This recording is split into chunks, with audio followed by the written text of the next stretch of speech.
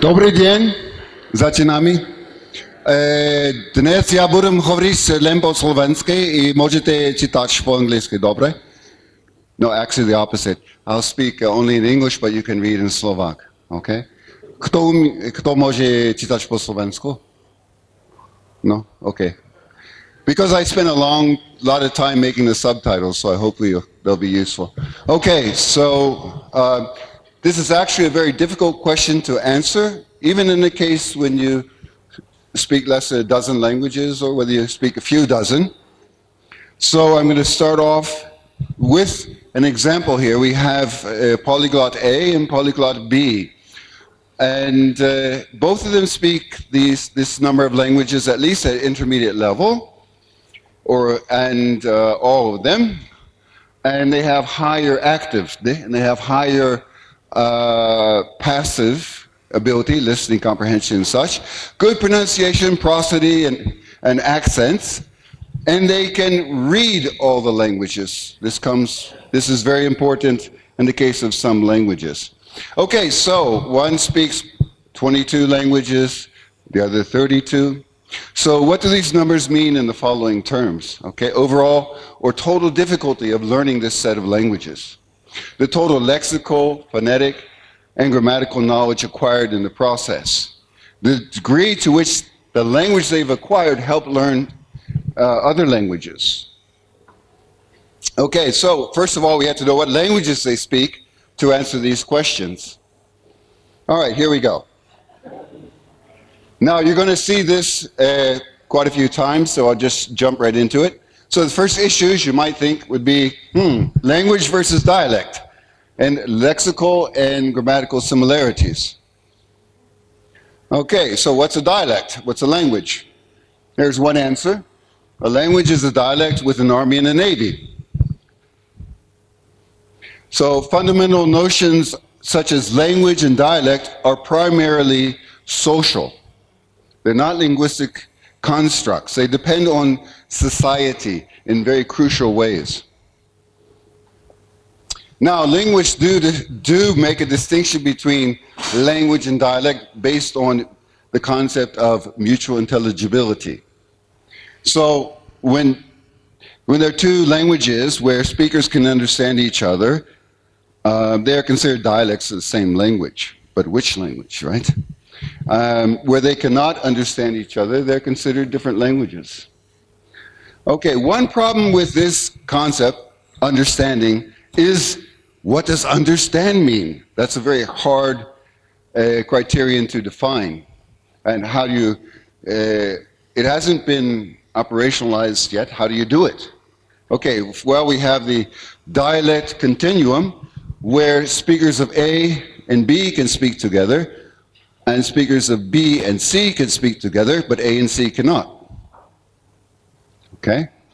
So this is very common uh, in, in, in, so to, to a certain extent in, in um, Slavic language, but certainly in Bantu languages in Africa. All right, now, Czech and Slovak, they're often considered different languages, but they can understand each other for the most part, right? Now, Serbian, Croatian now became two different languages.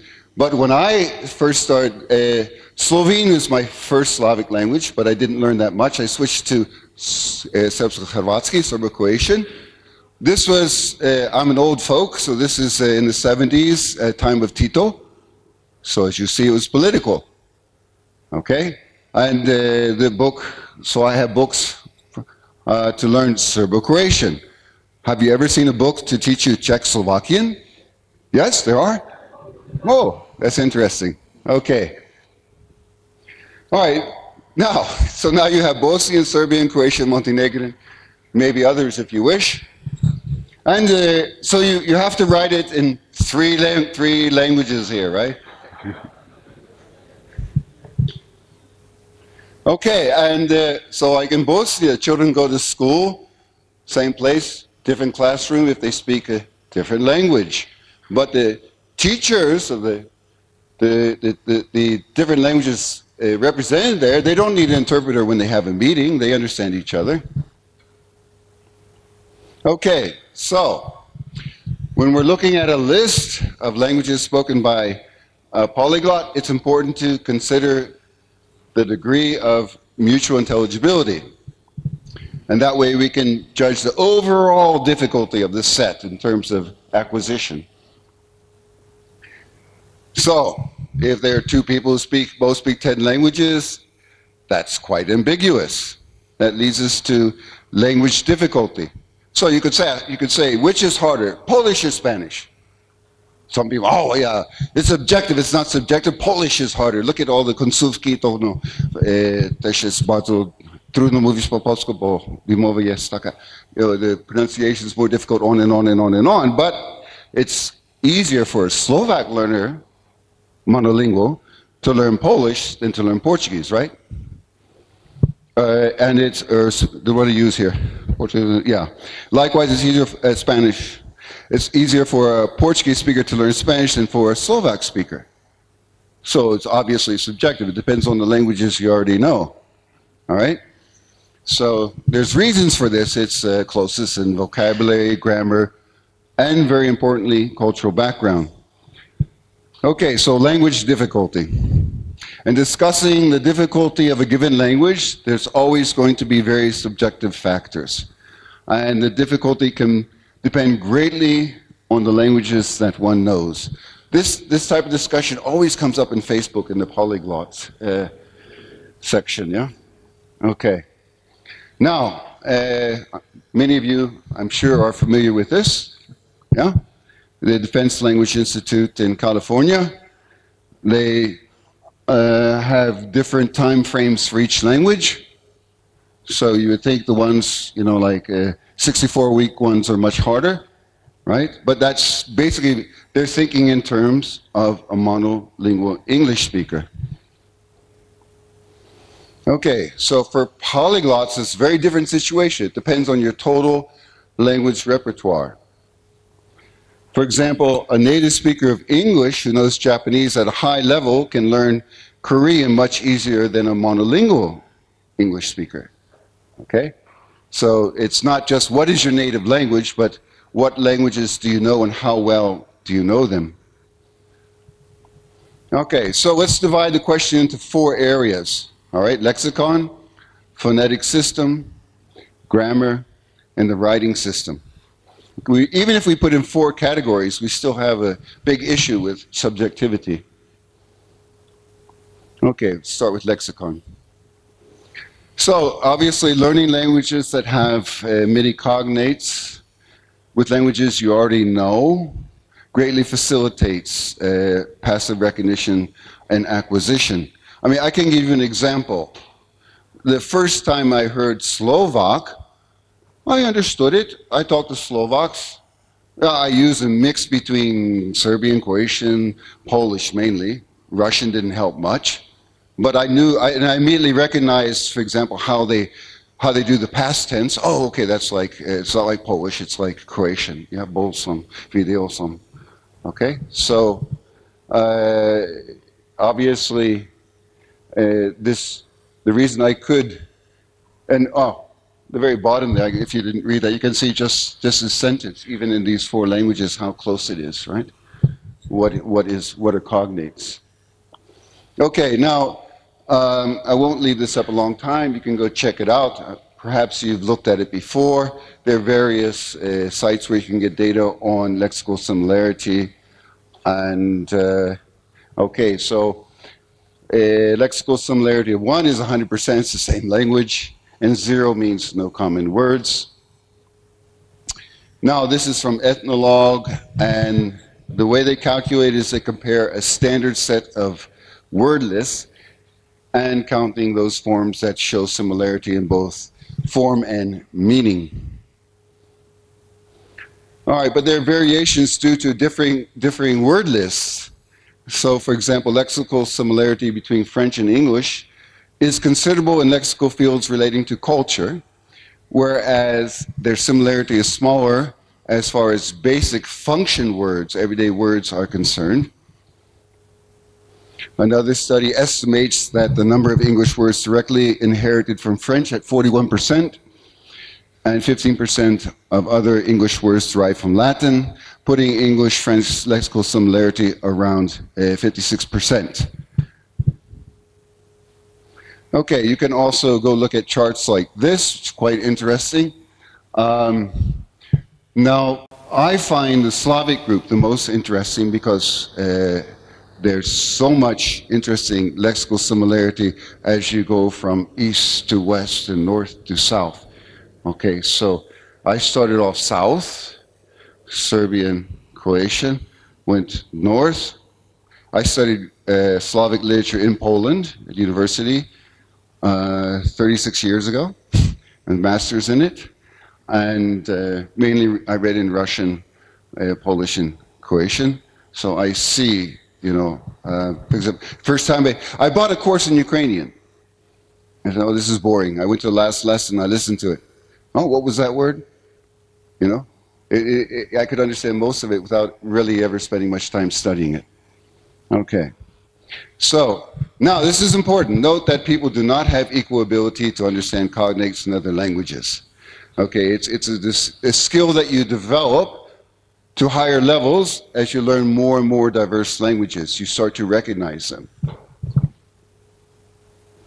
Okay, now I want to take a closer look at comparing uh, hyperglot A and hyperglot B.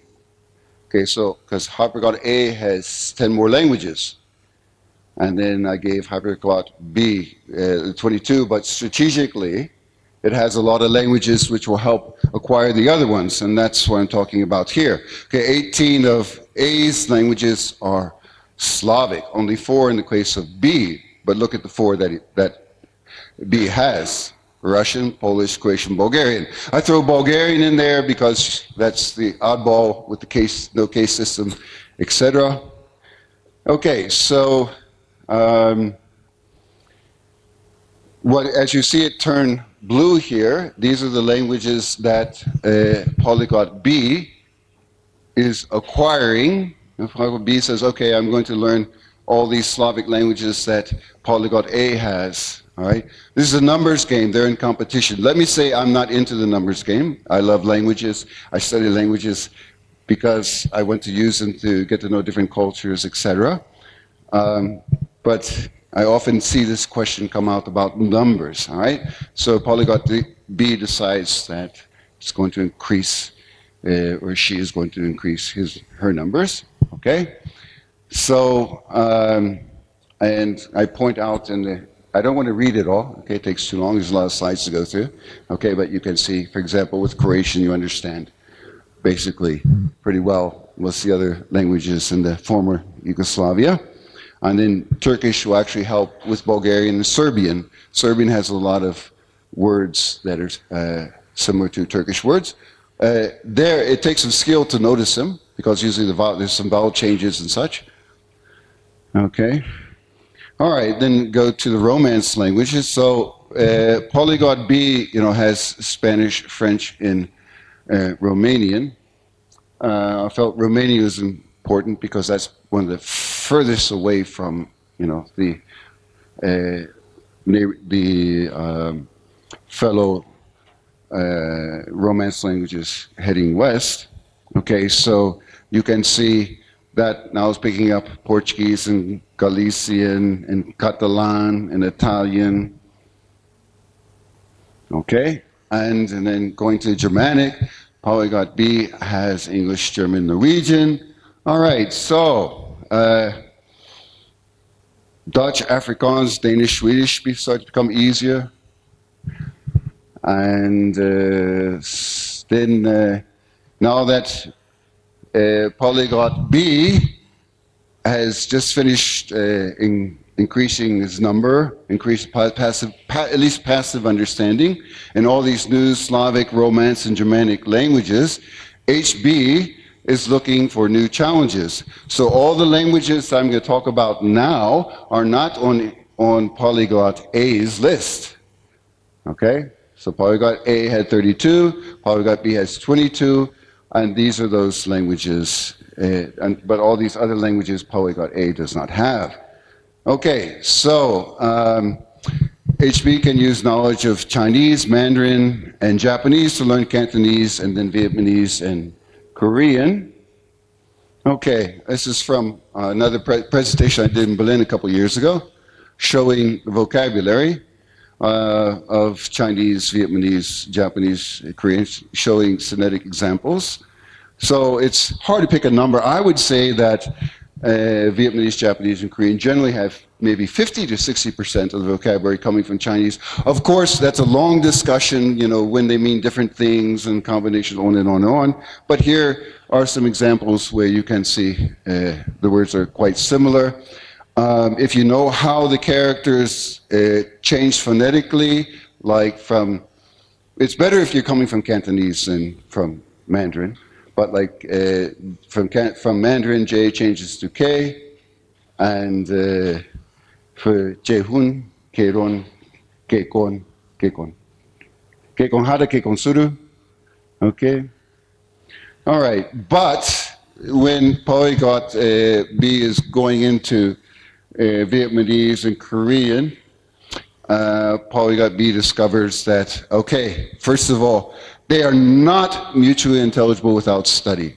Okay, I, I teach in Japan. I teach management um, at a Japanese university. The uh, language of instruction is Japanese. But in my seminars, the foreign students uh, mainly come to my seminars.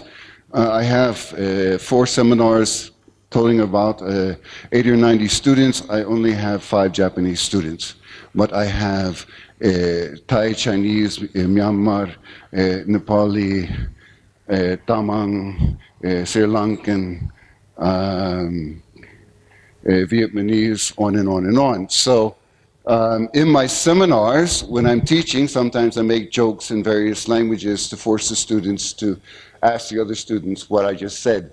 I'll get the Chinese students to say to laugh, and then I'll say something in Vietnamese or Nepali, and they're all going back and forth. I want to create some interest among them. So I, I never tell them what the meaning is. They're going to have to find out from the other students. Okay, so anyway, um, this just, you probably had time to read it now. It just shows where there's similarities and differences.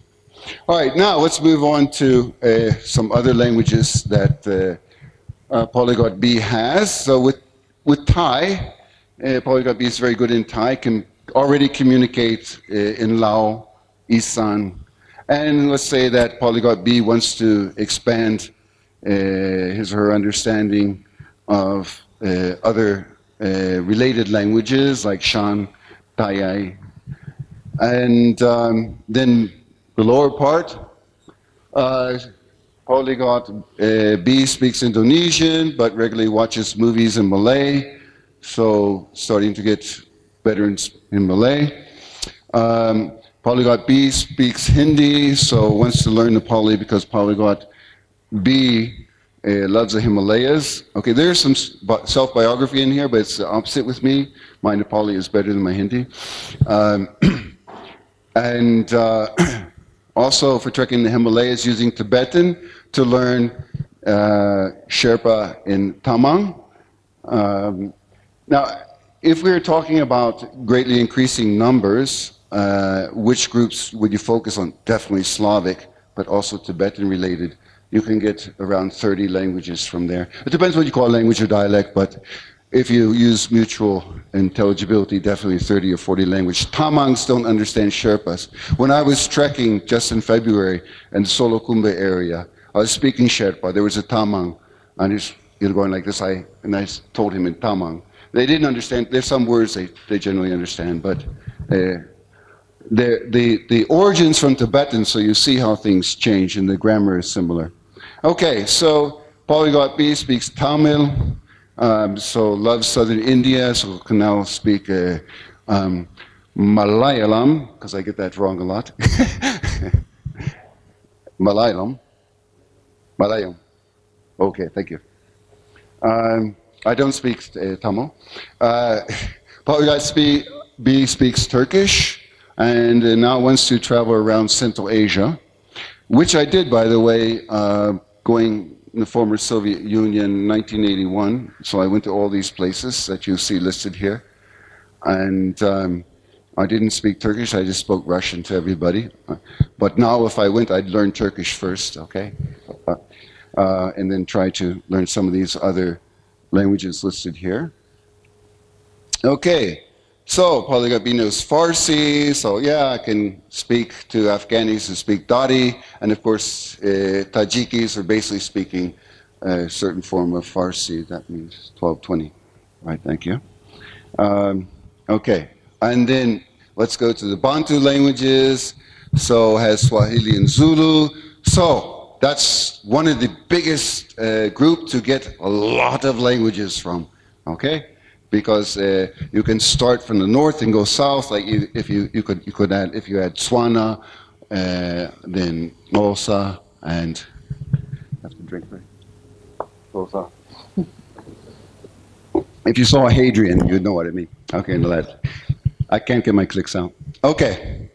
Um, now let's go to the next uh, issue, which is uh, pronunciation, the phonetic system. All right. So first of all, we have to think in terms of the phoneme. It's a distinct unit um, of sound which creates different meaning. Okay. So uh, a well-known example is in Japanese. Uh, there's L and R uh, sometimes it's more like an L, sometimes it's R, it doesn't matter. It's the same word. I have a, if I have a student, I have a student named Luna, Runa. And you say Luna if you know that she was be named after that, or you can say Runa, Runa, Runa. Doesn't matter. But Reich Leis definitely is a problem. Okay, so now in order to understand various uh, variations in accents and pronunciation amongst our fellow speakers, in our mind, we have neural mappings and that subsume all related sounds that are not important in determining meanings. Okay, in other words, they are not phonemes. So, gaining the ability to distinguish and produce sounds in new target language that uh, do not have distinct equivalents in one in one's language is required. Okay, so it's increasing your your phonetic uh, repertoire. Now, there are such things called brain traps. For example, a violinist playing a violin all the time like this will get, uh, what they'll get the, the two fingers will start to stick together. When you try to move one, you move both at the same time. Okay, so this happens when you don't differentiate in the movements. And it's the same with uh, how your the sounds that you hear. Okay, you they're not differentiated because uh, the, the difference between these two sounds is not important in terms of meaning. Okay, so as I told you, the R and the L. So every time you don't distinguish between the two, it's reinforced. All right, so since the basis of the problem is the absence of differentiation in the auditory cortex, you have to practice with exaggerated differences. Okay, so speech therapist, when I was five years old, six years old, I went to a speech therapist, and um, the language I have the most trouble with, or the only language I have trouble with speaking clearly is English, my native language, because I have this kind of psychological barrier there. But I try hard. Okay? I try hard not to mumble. I try to enunciate. Sometimes it's exaggerated. Because I was taught like this. Ah, apple. Okay. So, uh, he concluded that's possible to teach anyone to speak a second language without a foreign accent with proper training. Okay, so you restructure your brain when you learn a total language. This is quite interesting study um, that they looked at Chinese, native Chinese speakers and uh, Europeans who learn Chinese and those who don't speak Chinese. And uh, the results identified two brain regions, first in the vicinity of the right anterior temporal lobe and the left insula, where speakers of Chinese had significantly, gray, uh, significantly greater gray and white matter density compared to those who didn't speak Chinese. Now, importantly, these effects were found both in native speakers and the Euro European subjects who learned Chinese. Okay, so it develops. So I wasn't born that way. It's not ethnic. It's not. You, you don't have to do it as a child before you're two years old, or five years old, or ten years old, or twenty years old, or thirty years old, forty years old, fifty years old. You can do it in your sixties or seventies or eighties. It'll still happen. Not as easy at times, but it'll still happen. You have to put more effort. That's a long discussion. Okay, so uh, phonetic difficulty is defined on the basis greatly depending on the diversity of languages that you already know. Okay? So uh, acquiring ability in multiple diverse languages increases your uh, repertoire of uh, sounds.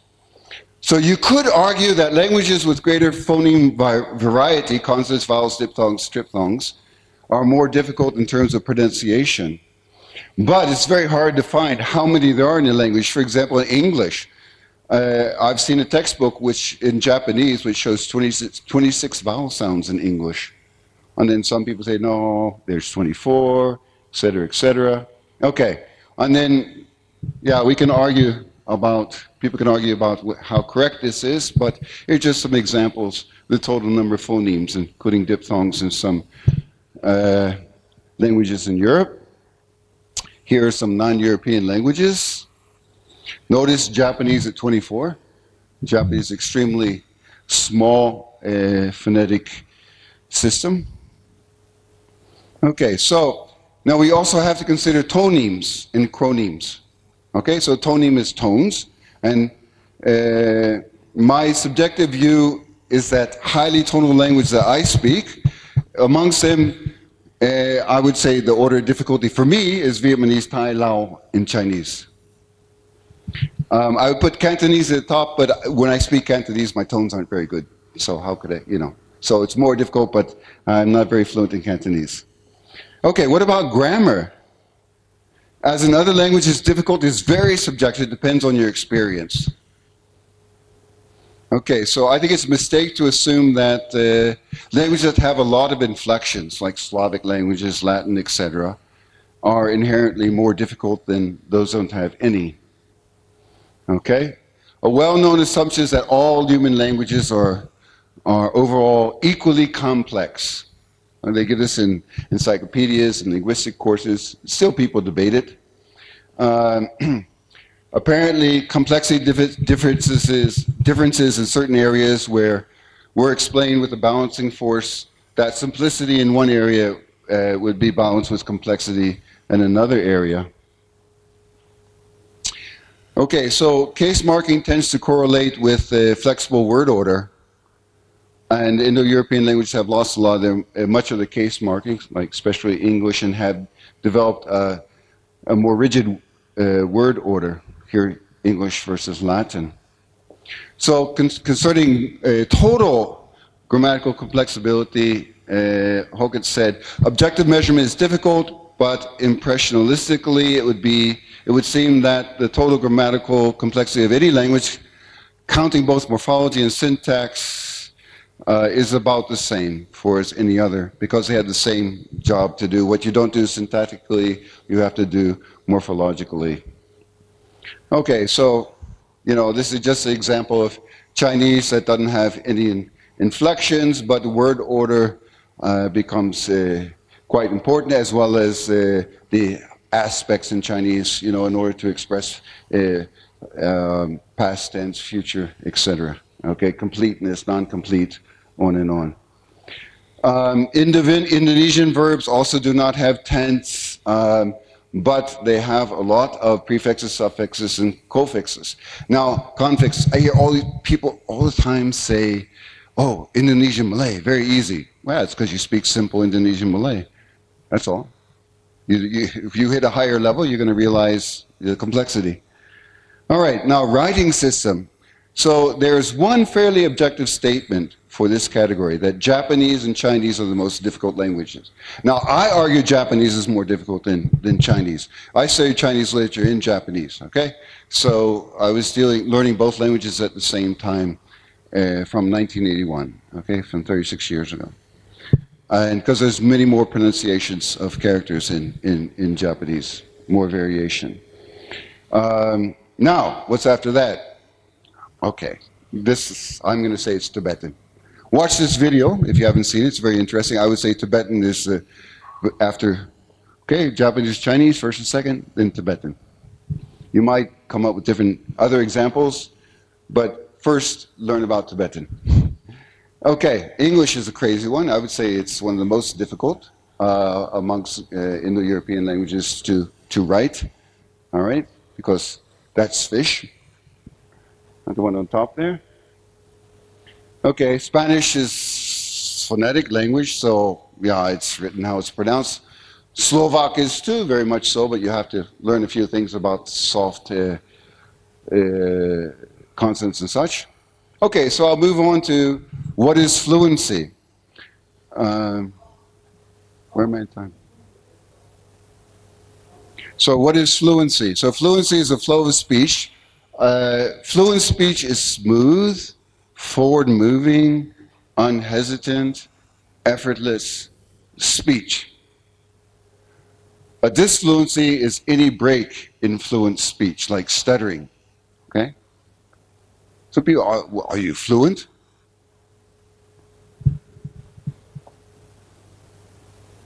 Some monolinguals, monolingual native speakers are not fluent in the only language they know.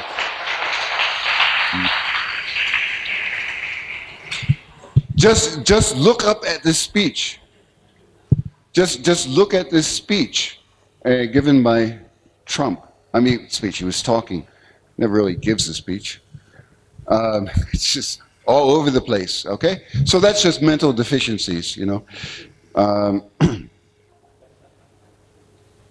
also, also uh, I, I seem to be going a lot quicker than I thought it would. So, well, that means I can expand. I would have done, gone slower and such and explain more. But uh, about fluency in a language, again, uh, when somebody says, are you fluent? I always want to say, you know, okay, look, I've been a professor lecturing for 28 years, so I always want to explain in detail. All right, so I always want to say, well, hold on, what do you mean by fluency? Oh, well, are you fluent? Well, yeah, I mean, in certain languages, I can say these 800 words and these phrases and sound like a native. So am I fluent? Yeah, when I'm speaking, I'm speaking fluently. No, no, no, I mean, can you talk about uh, this and that? And uh, Well, I say, okay, in your native language or any language you know, can you talk about astrophysics? Are you fluent in economics? Okay? So, ah, the next question is, so what about vocabulary? So a common question is, how much vocabulary do you need to become fluent in a language? Well, there's, yeah, again, what domain are you going to be speaking about? Right? Uh, fluency is always domain specific.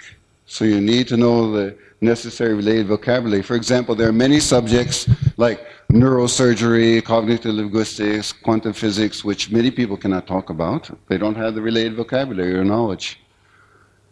So it's quite possible to speak very fluently about a surprising number of everyday subjects, domains with a vocabulary ranging from 1,000 to 2,000 words. You, believe me, you know, people argue, yeah, I mean, we'll probably get into this discussion. They say, oh, you need to know 20,000 or 30,000 words, and you're, you know, certain level. But wait a second. If you run into somebody who has very good pronunciation, very good prosody, to such an extent that you don't know they're not a native speaker when they first start talking to you, okay? They can talk about many things with a vocabulary of 2,000 words. They, especially when you, like you all as polyglots know, when you're work, speaking a language which you're not so great in, but doing pretty well, you try to control the conversation so that you don't get into a subject where you have to use a vocabulary you don't know. Unless, or you try to get them to give you the vocabulary and then, you, you know, you forget what it is, okay? So sometimes when you get beyond, well, it can happen when you're only three or four or five or six languages, but when you get beyond two dozen languages or so, and you're switching between them, there are languages, for me, including my native language, I forget the words. Well, then I hear it, and everything comes back, and everything related to that word comes back, and then I can say it. Okay? A good example for me was when I, uh, after studying Slavic literature in Poland, I went to Japan, and uh, I was in Japan, and I was watching uh, a movie with a friend, and it was a Polish movie. And uh, so afterwards, I, turned to her and started speaking Polish.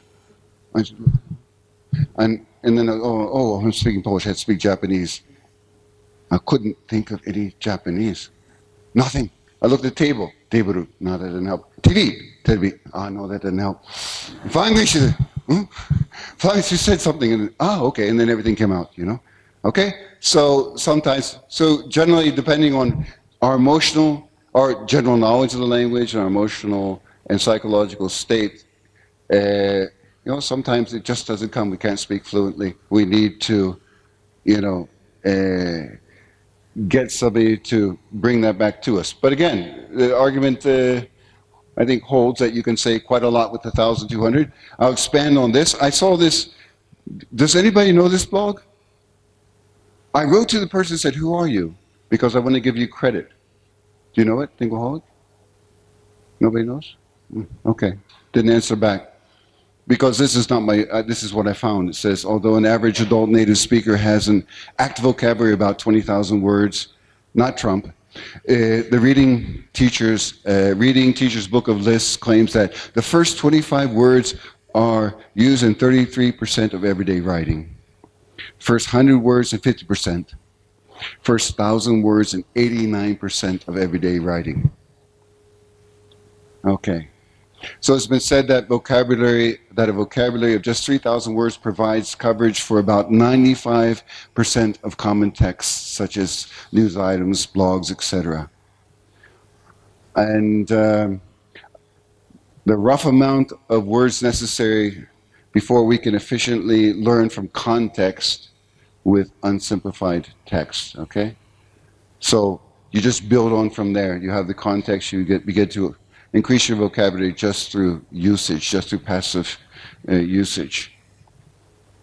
Okay, so maybe we shouldn't say fluency, we'll say language proficiency. Um, okay, I'm going to the next subject here, but I'll just comment. Of course, there, like we have here, native CBA, right? Okay, so mm, for me, I've seen people who have a C something one exam and they're not very fluent. Their prosody, you know, there's some there's some issues with these tests. You can study for a test, okay? So, um, but it gives us a general idea. So it's kind of hard to measure. I'll put that aside. I just want to go to another thing that people always uh, have an issue with is: uh, Do you speak like a native? Are you a native speaker?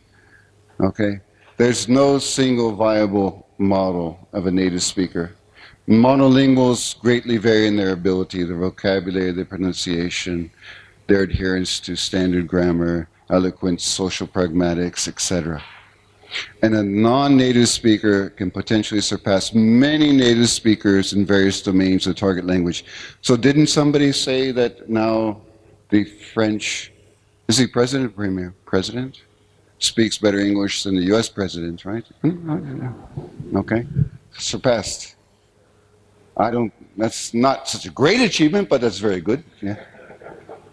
Okay, so now I get to the last side. I guess I, I did it pretty quickly. So if you ask me how many languages do I speak, here's my answer. Okay? So it's complicated. Oh, what's that? That? It's complicated because uh, First of all, I'm going to talk about passive and uh, passive and uh, active knowledge, which is very important, right? Because as I mentioned, the first time that I heard Slovak, I understood almost all of it. Well, that's passive. But for somebody who doesn't speak any Slavic language, that's amazing. It's like, oh, you, you're almost perfect in Slovak. You understand everything they said there. Oh, you watched that movie. You read that book. You read that sign. Okay?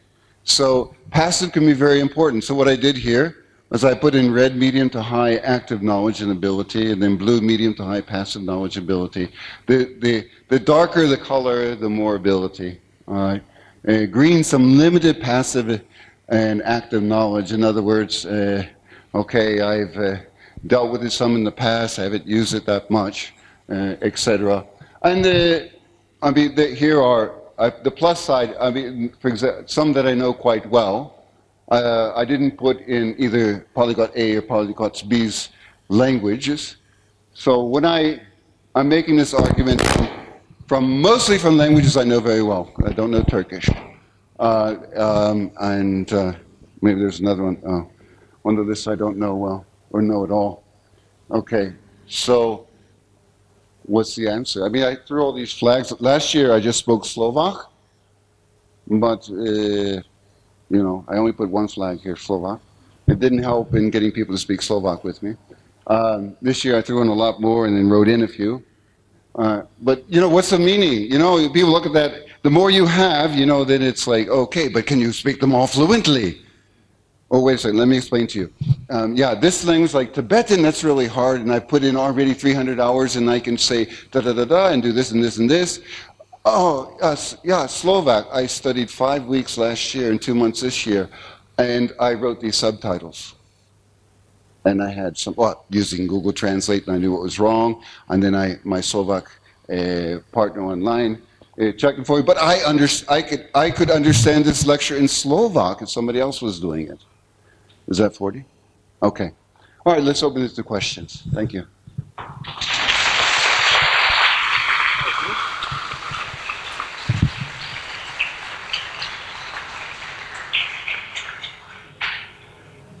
Um, okay, if you had to choose just five languages that would let you understand as many languages, not people, as possible, which would you choose? Well, I think you get the idea from what I listed here, as many as possible. I probably, I'd pick one Bantu language, one Slavic language. I would pick Slovak for Slavic language, Slovak, or, yeah, Slovak. Yeah, it's right in the middle. Um, oh, question? Okay. Um, and, uh, you know, I might pick like Spanish, Portuguese, um, Chinese, um, and then go from there. Um, many of us hate to be asked how many languages can you speak, yet we often ask other people the same. yeah, that's because we're, we're generally curious how to avoid it. No, I ask people the same, but, well, no, I don't ask that necessarily. Um, I kind of, I might ask you to speak this language here, uh, just so we could, you know, change languages or something. Um, when a non-linguist asks you this question, how would you reply to them in an easily understandable yet accurate way? Wh who wrote this? What's the question? Yeah, what's the question though? Oh, this question, I'm sorry, what's the question? Oh, okay. Yeah. Uh, how many languages do you speak?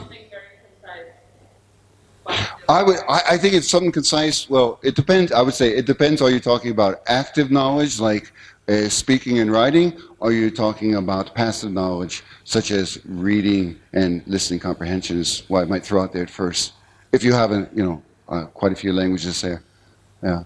And then you could say, okay, well, maybe it's a dozen when it's just, you know, generally understanding just what's being said, and okay, maybe it's five or six, you know, when I have to say the same thing. Um, are you putting your slides online? I, I, put them up in that cloud. I don't know how it works. Uh, who asked this question? Um, I mean, you're welcome to have them if you're interested. Uh, uh let's talk about it afterwards. Are there more such lists of languages by difficulty? The famous. I don't know. I only know the Foreign Service one. You know, uh, as a list of language difficulty. Um, how do you personally learn vocabulary, vocabulary into a low, medium ability, in a low to medium ability language? I don't know exactly what you mean by the question. Who asked it? Yeah. What do you What do you mean?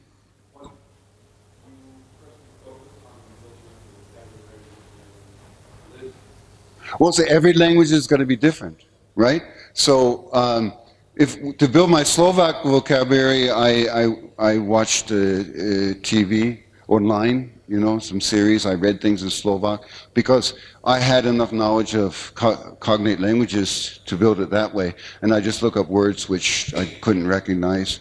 So if it's a totally new language, uh, not related to any language I know, so let's say I'm learning Turkish or something like that. But then I might know things from Serbian, so who knows? Um, now, I don't, I don't have a particular method uh, per se. It's different every time. You know, depends on the language. Um, where is uh, in Germanic language? In the Germanic, oh, in the Germanic language. You mean in the in the slide there with the who who asked? Um, how do you pronounce it? Is it feroce? Feroce? Well, what is it? Forest. Where is it in that slide, in that picture I showed?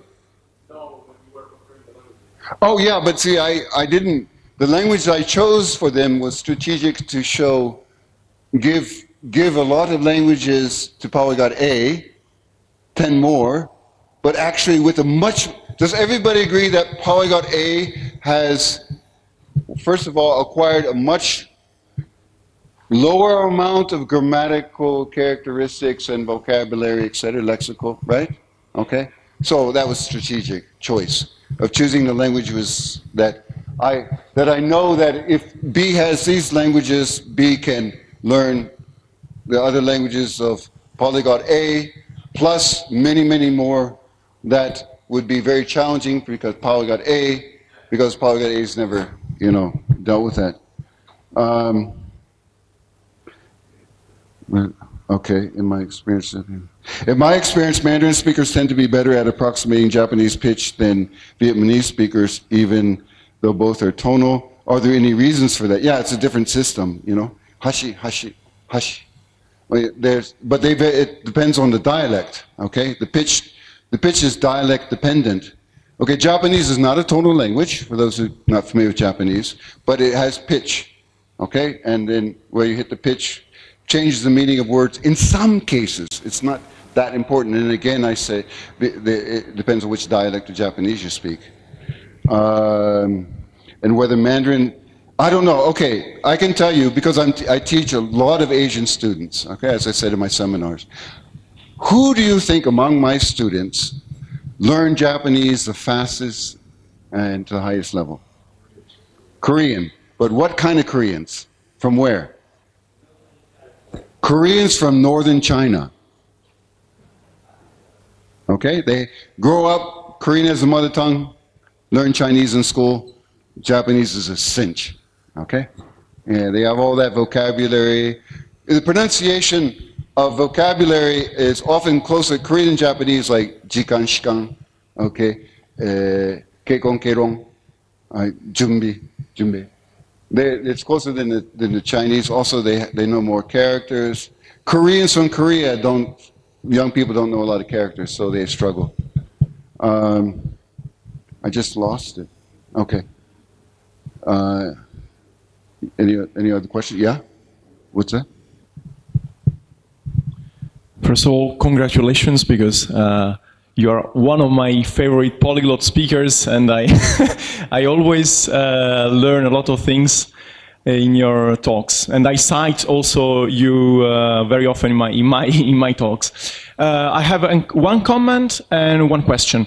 The comment is the comment is. Um, you might be interested in uh, a mathematical approach that I have published some years ago to calculate uh, with a matrix of phonemes and graphemes uh, the degree of so the percentage of bijectivity uh, and so the easiness of language uh, of learning the phonetic of a language and and then the question yeah yeah, well, yeah and no this is, was just a comment uh, because you talked about that.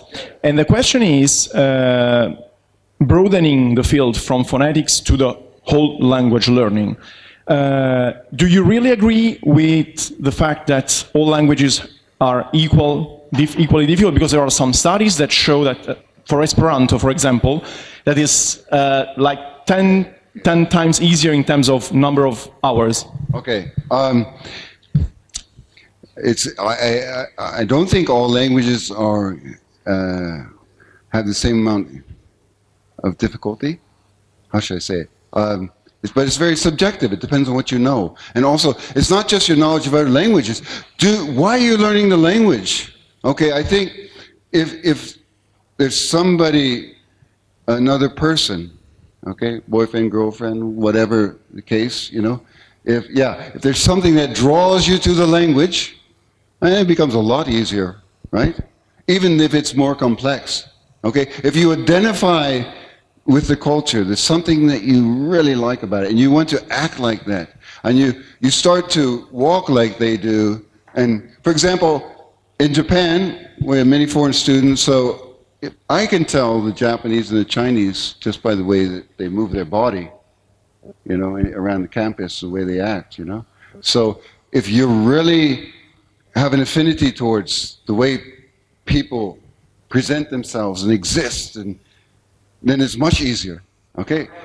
Yeah, but I mean, I'm, I'm trying to make I'm trying to make the answer uh, very subjective because that's where it's at. We can talk about the objectivity. Now, do I believe all languages are equally complex? Yes, maybe to a certain extent. You could argue that some languages, uh, let's say English, for example, has been used by many people, not just native speakers, to explore many different uh, domains, ideas, etc. So therefore, it has a lot of complex concepts and ideas and creative vocabulary and on and on and on and on. Grammatical complexity. Um, uh, do, you, do you think uh, Slavic language is more grammatically complex than Malay or, or, or Chinese? No, I don't either. It's different. You know, some people look at Chinese and they say, oh yeah, you know, this looks simple. All right, but you know, like they, they'll say, uh, 我说中文很好. You can't say, 我说中文说得很好. You have to show the, you have to repeat, okay? There's a rule in Chinese. What is that rule? What is it called? It doesn't have a name. Japanese grammar, when you read it in a book written in English, is totally different. My wife is a Japanese, uh, certified Japanese teacher, and the books that they use to teach Japanese to Japanese is totally different concepts of grammar. Okay? They don't call them the same things.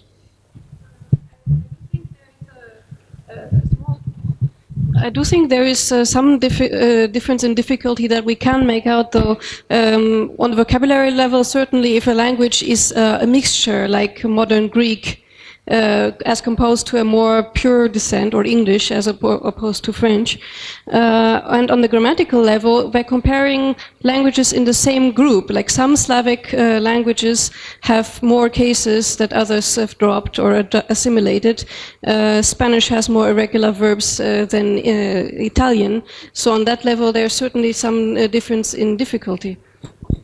That's if you think regularity is more is easier than irregularity. I mean, yesterday I was in the panel and the person sitting next to me had the same feeling. We were talking about Esperanto, right? And they kept arguing, Esperanto, look how regular, you build it up like this. And we both said, we love irregularities. I remember it easy. Yeah, because it's irregular. By the way, now it's it's, it's 12:50. I I will stay. It's lunchtime coming up. If you want to leave, go right ahead. If you have, I'll stay for more questions if you have them. Okay. Anybody have a question?